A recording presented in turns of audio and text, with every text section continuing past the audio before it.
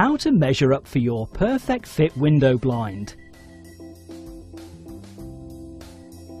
Before you begin, please ensure that you have a minimum 6mm clearance between the edge of the window beading and any possible obstructions, in this case the operating handle, to allow enough room for the perfect fit window blind to be installed. Check this clearance on all four sides.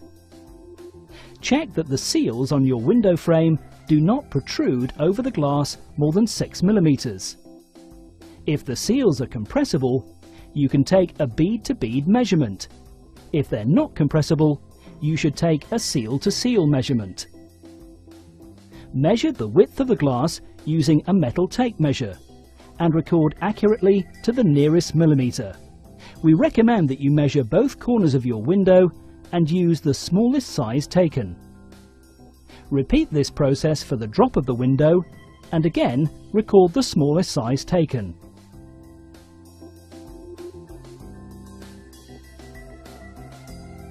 Next, measure the depth of the window from the glass to the edge of the beading. This can be done by lining a metal ruler up against a credit card placed across the corner of the window frame. This measurement would normally be between 20 and 24 millimeters and will determine the size of fixing bracket you will use. How to assemble your perfect fit blind. In your pack, you will have your drawn-up blind with attached bottom bar and two side frames. Spread out the blind, bottom bar and side frames face down on a clean, even surface. Starting from the top right, guide the side frames onto each corner joint, ensuring all cords are free and positioned inside the frame.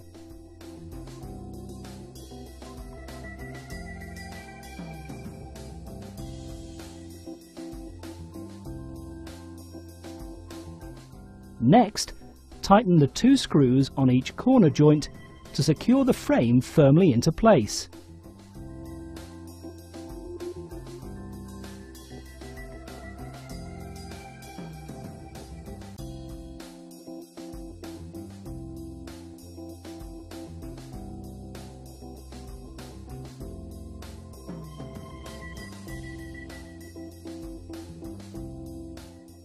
Your perfect fit frame is now ready to install.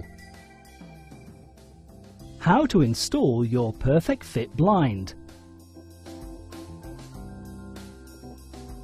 You'll need to fit four brackets into the window frame onto which your blind will simply click into place.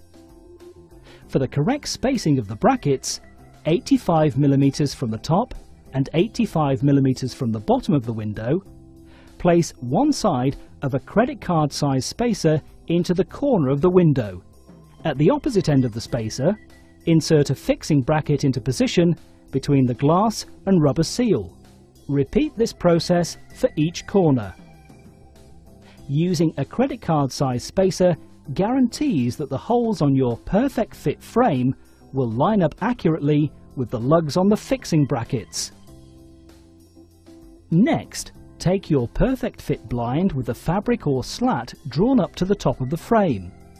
Offer it up to the window and carefully position the frame onto the lugs of the fixing brackets and click all four sides securely into place.